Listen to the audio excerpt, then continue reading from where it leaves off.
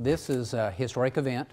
It's a partnership of two institutions created in the 1890s working on a 20th century artifact and using 21st century entrepreneurial business plans to forge a partnership to restore something that will affect the quality of life again in Oklahoma. The Oklahoma Historical Society and the University of Oklahoma have teamed up to refurbish a theater style organ.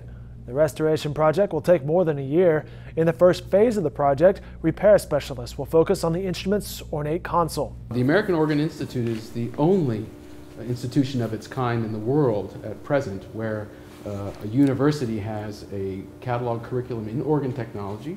We have a fully functioning organ shop in Norman where we undertake projects uh, for our educational mission and including partner, partnering with institutions such as the Oklahoma History Center to uh, bring back instruments that are worthy of preservation and should be heard. The pipe organ has been silent for two decades, locked in storage. It was originally purchased by E.K. Gaylord for live radio performances.